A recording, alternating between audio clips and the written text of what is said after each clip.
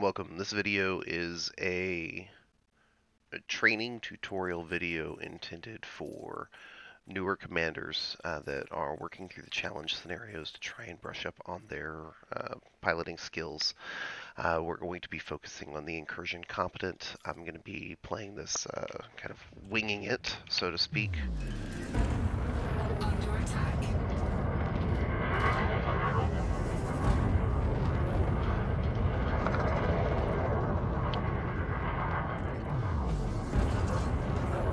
First thing I'm going to do is I'm going to avoid fire, and then I'm going to address my fire groups real fast to make sure that they are functioning the way that I want them to. You'll notice that while I do this, I am focusing on staying pilot. Now obviously in the main game, you're not going to have to do this kind of multitasking.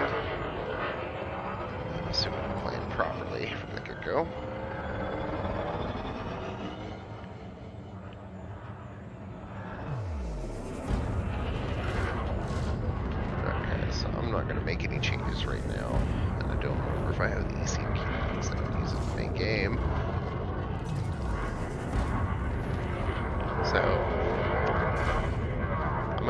Conserve my multi-cannon ammo because I don't remember the scenarios.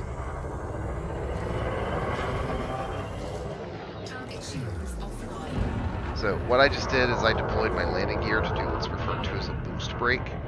That helps you maneuver quicker by muting your forward thrust. Um, it's not a commonly used tactic, but it is something that helps a lot.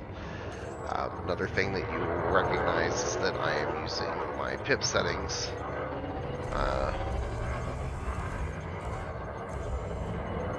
balancing between uh, engines and weapons but I do not remain static with pip settings. Um, being able to change your pip settings is something that you're able to do with relative ease. So you want to make sure that those bindings are accessible. So if you want to keep them on the mouse, um, get them off of the arrow and move them somewhere else because having to lift either one of your hands to change your, your pips uh, is going to really mess with your combat capability uh, to the point where you'll almost be completely useless. I'm doing another boost break here.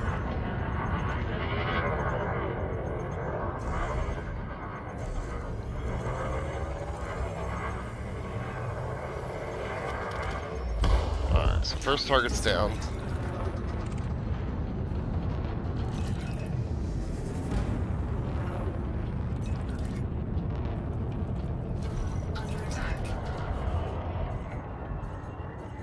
Okay, this is where the ship's equipment in these scenarios is coming to light. In the main game, if I was fully maxed out on this ship, uh, especially if I had engineering, I'd be able to boost as frequently as I wanted.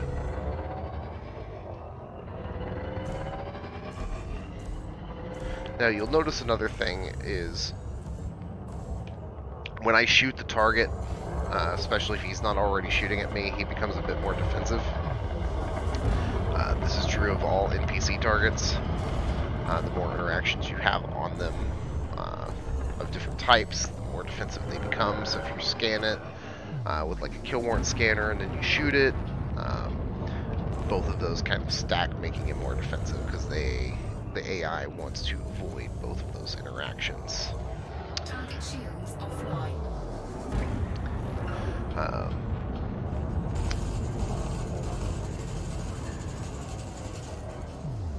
now, one of the other important things here is I am heavily using vertical and lateral thrusters. Uh, right now I'm full strafe right. I'm strafing down. Well, I'm not strafing anymore.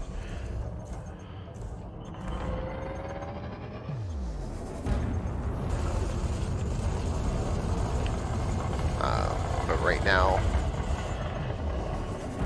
I'm strafing upwards while strafe uh, flying forwards and uh, doing a straight, slight left strafe there to achieve that maneuver that I just did. And what that's helping me accomplish is go through and uh, close the distance between us faster so that I am able to stay on his tail more easily. Like right now, I boosted, that was an inappropriate boost timing, and it caused me to overshoot him.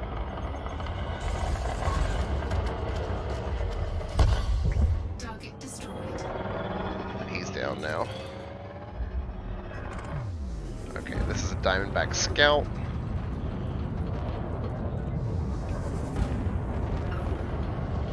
I'm doing forward thrust while pitching towards him. I'm sorry, not just forward thrust, also uh, vertical thrust up. It's really, really important to make sure that you uh, have thruster control over everything. So right there, I just used most of my weapons capacitor. But I'm trying to also make sure that I keep power and systems when he has a firing solution on me to reduce the damage, because the more pips and systems that you have, the stronger your shields are as it applies a damage multiplier, uh, re damage reduction multiplier based on how many pips you have. Uh, Target shields notice my system's capacitor is empty, I want to keep recharging my shields.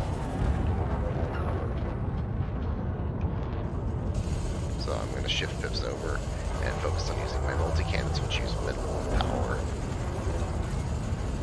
Now I'm doing a 1-4-1 pip laydown so that I can contain, uh, maintain uh, high-speed maneuvering while still charging both my systems and weapons capacitors since I'm focusing on using my projectiles at the moment. Pip management is extremely important. Um, was a waste of multi-cannon ammo because they're better against shields.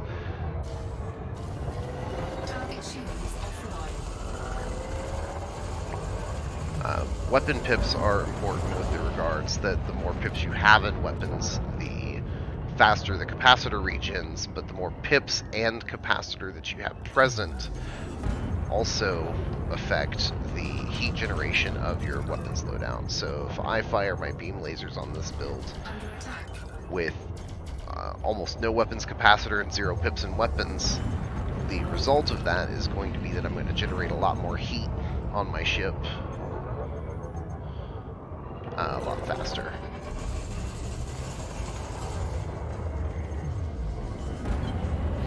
Now I'm introducing A and FAO toggle because this other ship is able to actually uh, challenge the Viper's maneuverability. But no, didn't switch my weapons. Fire groups rather.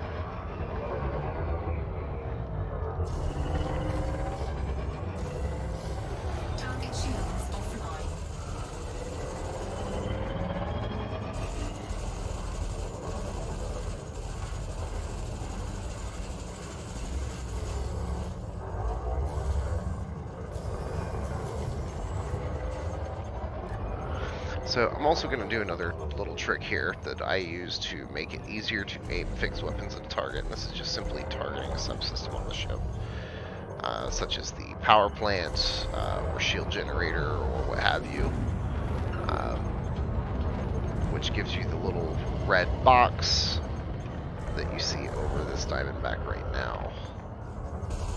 And that just makes it easier to see it when it's further away, where you can barely see the hull so you have an aim point while it's at further distances.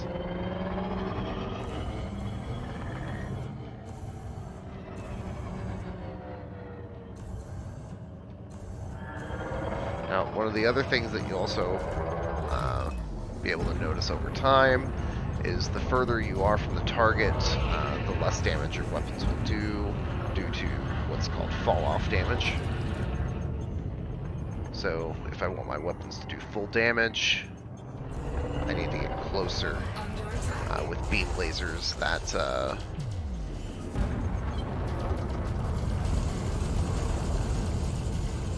that distance is about 600 meters before it starts uh, reducing in damage. So I did a boost break combined with flight assist off there in order to uh, get his hull down a bit more, but unfortunately I didn't uh, commit properly and get that last 1%.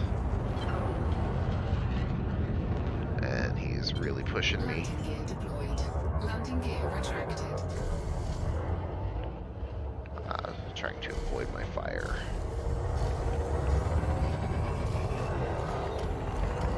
He's down. Alright, next target.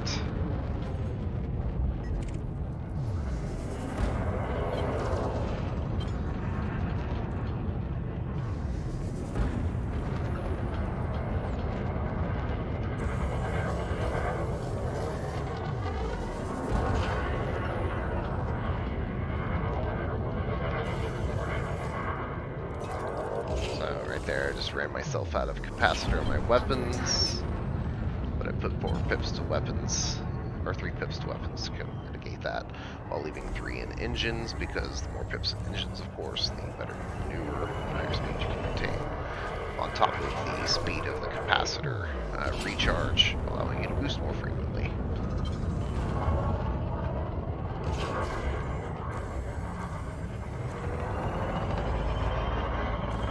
Target shields offline.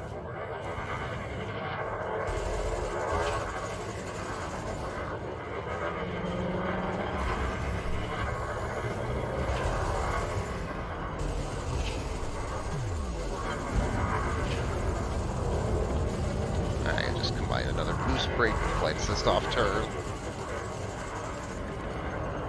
Flight assist off, of course, makes it uh, makes your ship turn off its maneuvering thrusters that uh, do course correction, so that you maintain a uh, trajectory consistent with your ship's orientation. Um, however, if you leave the landing gear deployed, which is required to do boost break, then what you wind up with is a significantly reduced speed, which can actually cause you a lot more problems if you're not, uh, not doing it right.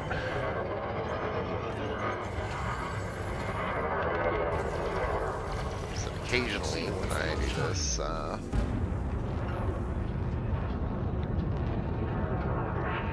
I forget to put it back up immediately.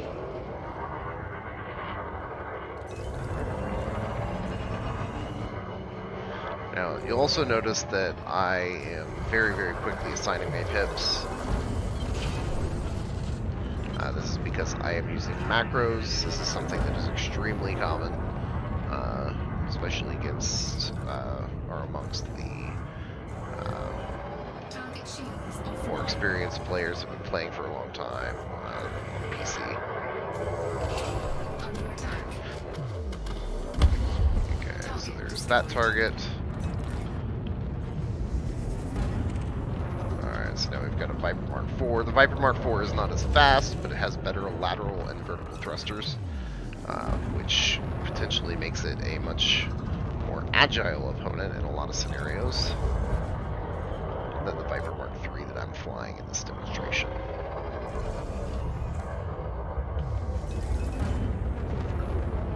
Which means that we gotta really use all of the tricks at our disposal to make sure that we stay on target. Slightly more agile with the vertical and lateral thrusters, but uh, also has um, armor and fitting capability.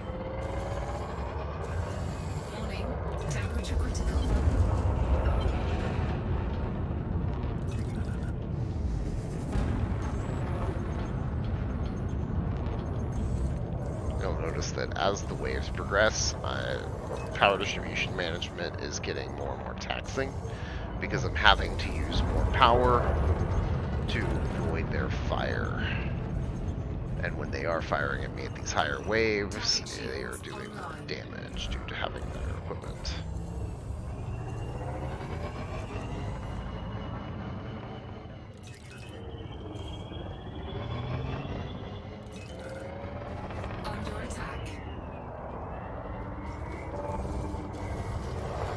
Target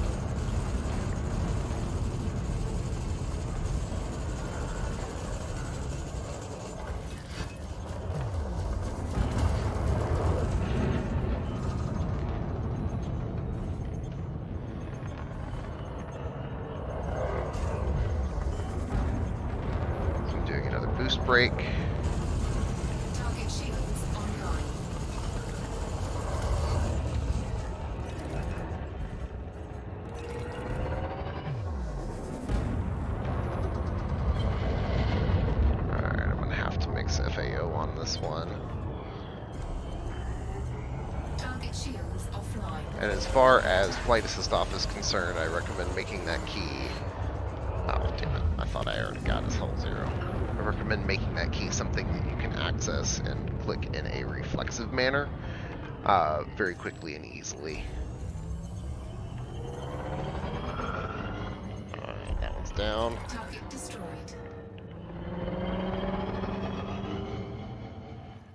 Alright, so that is the competent combat tutorial.